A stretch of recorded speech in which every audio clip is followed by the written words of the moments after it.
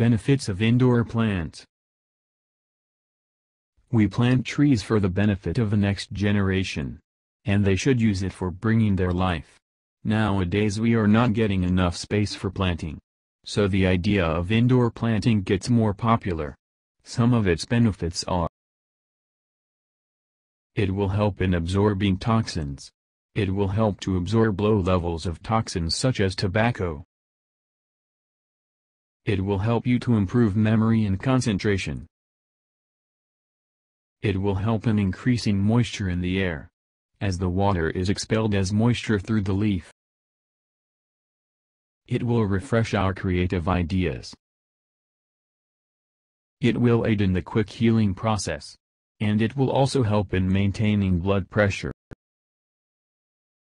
It will help you to be more productive in your life. It will help you to reduce microbes.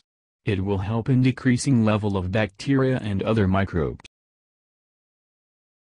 It will help to improve patient labor and attention.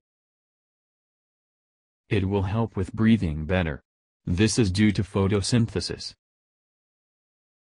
It will help in purifying harmful organic compounds in the air.